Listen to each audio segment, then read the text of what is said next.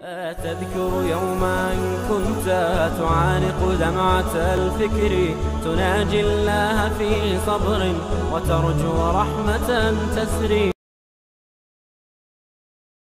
So let us analyze today whether this glorious Quran is compatible or incompatible to modern science. Whether does it pass the test of today, the test of modern science.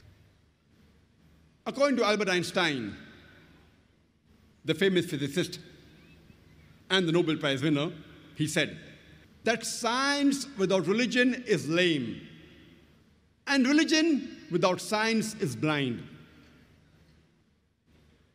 Let me repeat it that Albert Einstein, the famous physicist and the Nobel Prize winner, said that science without religion is lame, and religion without science is blind.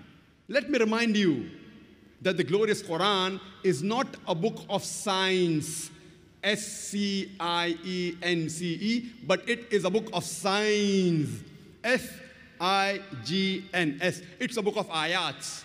And there are more than 6,000 ayats, 6,000 signs in the glorious Quran, out of which more than a thousand speak about science.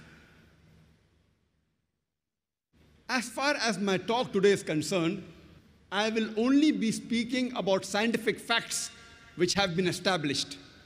I will not be speaking about scientific theories and hypotheses, which all of us know very well that many a time these theories and hypotheses they take U-turns.